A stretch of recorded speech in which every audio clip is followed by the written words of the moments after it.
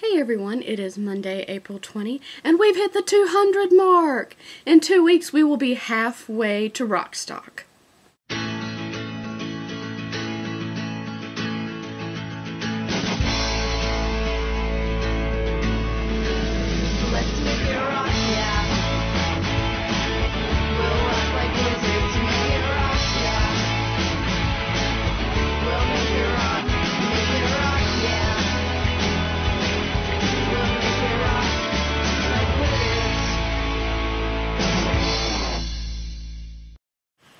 So apparently if you want a ton of video views, all you need to do is tag Colin Firth.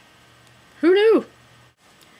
So I am really sad that Ilka's not going to Wrockstock, but as I've told her a million times, I am so unbelievably excited that she has a new job and one that she's going to love, and I'm really happy that everything is working out for her. Um, but yeah, still sad. Um, I actually have news. Uh, it's good news. At least I hope you think it's good news. Um, I'm going to LeakyCon.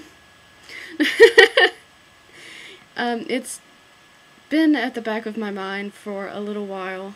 Um, and then on, well, I decided on Wednesday and then Thursday the plans were finalized. Um, so yeah, I'm I'm registered and I've got my plane ticket and I'm going.